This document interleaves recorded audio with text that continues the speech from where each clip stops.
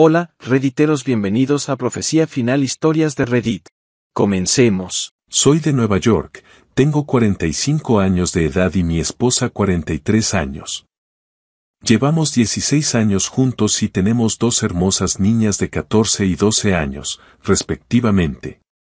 Desde el principio de nuestra relación ha sido muy complicada, ya que ella y su familia son cristianos. Con el tiempo, yo acepté su creencia y, junto con la desaprobación de sus padres a nuestra relación, trabajamos en la misma dependencia, Secretaría de Educación Pública. Durante siete años, ella no trabajó para cuidar a las niñas, pero por necesidad económica regresó a trabajar y empezó esta pesadilla. Tiene cinco años que reanudó labores. Al principio todo bien, pero un fin de año fue a la fiesta, pero no nos quiso llevar. La razón de ella fue que era solo para su dependencia, cosa que no es así. Mientras pagues tu comida, puedes ir. Recuerden que trabajamos para el mismo jefe. A ella le gusta beber licor y la fiesta. Esa ocasión llegó muy borracha y me platicó que durante esa fiesta bailó con una compañera que es lesbiana. Aclaro, yo no tengo nada contra la comunidad. Pasó el tiempo, pero yo notaba algo mal. En muchas ocasiones le dije y le di a entender si pasaba algo. Siempre con una negativa. Hasta enojo de su parte. Según sus palabras, siempre me ha amado y querido como sea. En varias ocasiones le propuse cambiarme donde ella labora, según yo para estar más al pendiente de ella, mis hijas y de la casa. Siempre con una negativa suya que no era posible, entre otras excusas. En abril de este año, para esto ella y yo casi no pasamos tiempo juntos, es decir, de pareja, siempre estuvimos ocupados con las niñas o los quehaceres de la casa, cosa que compartimos por igual. Y comencé a pensar, bueno, las niñas ya están grandes, no necesitan tanto de nosotros. Y le propuse dedicar más tiempo como pareja. Me dijo sí, pero como para salir rápido del asunto. Pasaron los días y nada. Le decía y siempre era una negativa, hasta enojo mostraba. Pero para sus compañeras, sí tenía el tiempo necesario. Se la pasa con el teléfono todo el día. Comencé a notar que cuando no lo tenía en la mano, lo tenía con la pantalla abajo y comenzó a poner contraseña a todo. Luego comenzó a llegar a casa con ropa nueva y zapatos. Y le preguntamos. Para ese entonces, mis hijas comenzaron a notar algo raro en su mamá. Le preguntaron de dónde venía tantas cosas. Siempre respondía, mi mamá me lo regaló, o, una compañera que vende ropa me lo dio. Qué raro, si de eso vive. Por esos momentos estábamos todavía con problemas económicos. Dejó de llevar hasta que mi hija la menor le dijo, pues, quien te los regala, tendrá mucho dinero. En abril de este año, antes de salir de vacaciones, recibió una llamada de su compañera llamada Grace. Pero el tono de voz que utilizó con ella me llamó la atención y me puso en alerta. No le dije nada. Un día, platicando con mis hijas sobre su comportamiento, que para entonces se había vuelto muy explosivo y siempre a la defensiva, me comentaron mis hijas que a principios de año mi esposa les insistió mucho en que conocieran a esta persona de nombre Grace. Cosa que no les gustó y les pareció muy extraño tanta insistencia. Ella siempre ha usado un anillo que yo le había dado.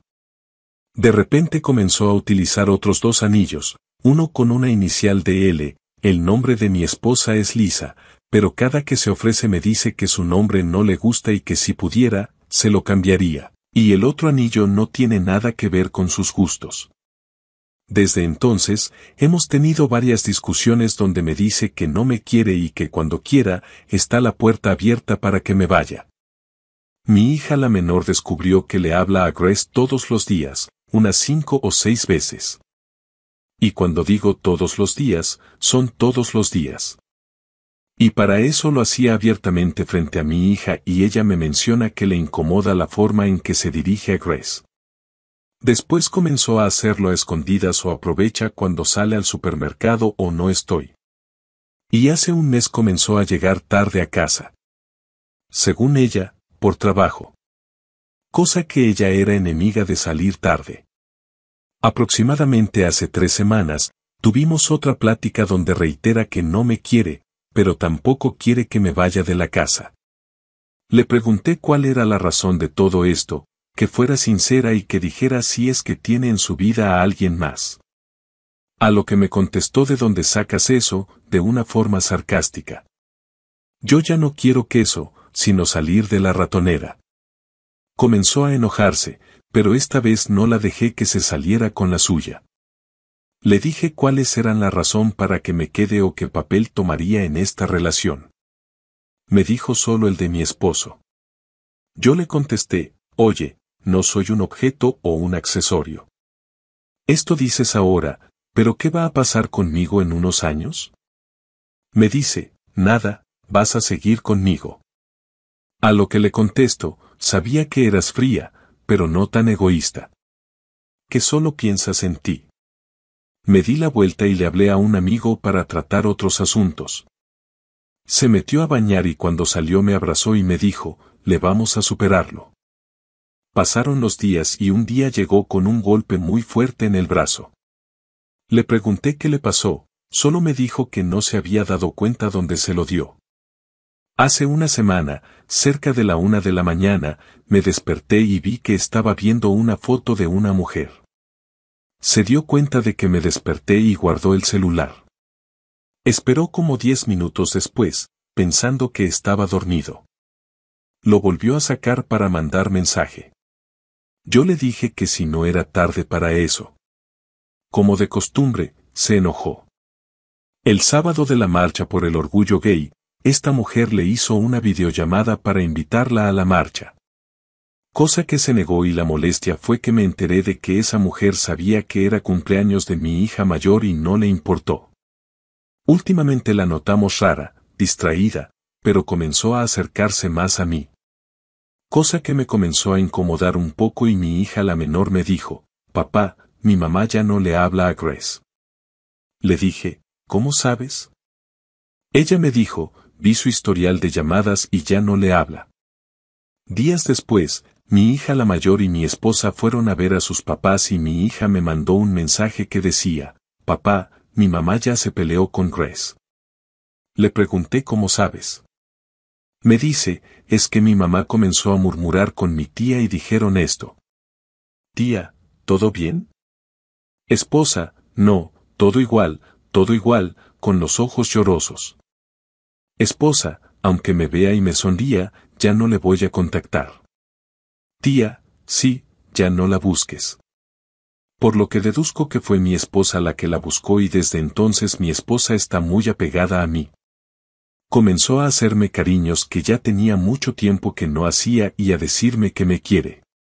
Comenzó a prepararme comida para llevar a mi trabajo y ahora canta canciones de dolor y desamor. Yo, la verdad, estoy muy molesto y sentido. Mis hijas le guardan rencor, sobre todo la menor. Yo le rogué que antes que se peleara con esta mujer, que fuéramos a terapia o pidiéramos ayuda, pero se negaba o se reía. La verdad, quiero vengarme, pero no la quiero lastimar. Mucho menos serle infiel, pero sobre todo a la tal Grace. Que si a mi esposa no cupo la prudencia, a ella menos, cuando sabía que era casada. Consejos, por favor, menos de separación o terapia. Eso vendrá después, de la venganza.